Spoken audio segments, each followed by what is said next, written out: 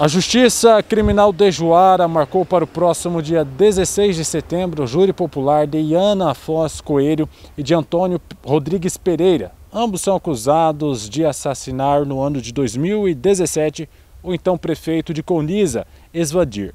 No ano passado, o Ministério Público de Colniza pediu a mudança do lugar de julgamento. A promotoria argumentou que o interesse da ordem pública e a dúvida na imparcialidade dos jurados não possibilitavam o julgamento justo na comarca de Cuniza. O Ministério Público Estadual afirmou também que os crimes imputados a Iana e Antônio tiveram enorme repercussão estadual e nacional, o que colocava em xeque a imparcialidade do julgamento. O Ministério Público enfatizou ainda que em novembro de 2019, vários jurados que foram intimados para participar das sessões de julgamento manifestaram informalmente o desejo de não participar de eventual julgamento com temor dos acusados. Além disso, foi citado ainda o risco de tentativa de plano de fuga dos acusados, com possibilidade de conflito armado devido à ausência da segurança necessária para a realização do julgamento.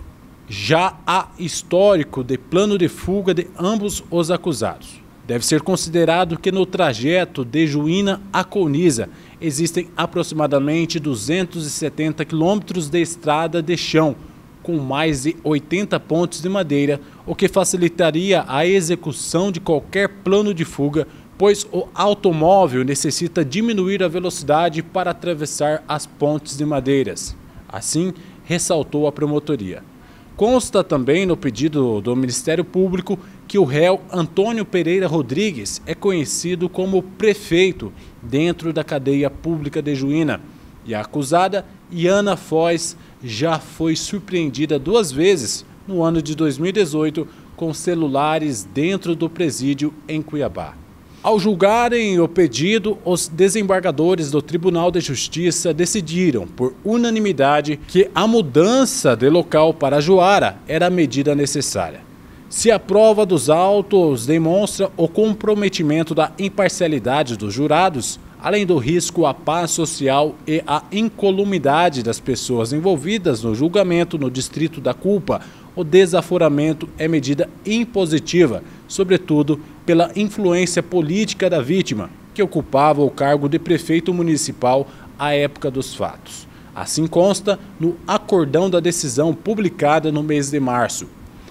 Além do homicídio de Esvandir, também pesam contra os dois denunciados a tentativa de assassinato contra o ex-secretário municipal Ademir Ferreira dos Santos, a ex-companheira dele, Rosemary Costa, e o Alisson Jones Machado Lara. A dupla ainda será julgada em Juara por associação criminosa, receptação, corrupção de menores e crime de trânsito.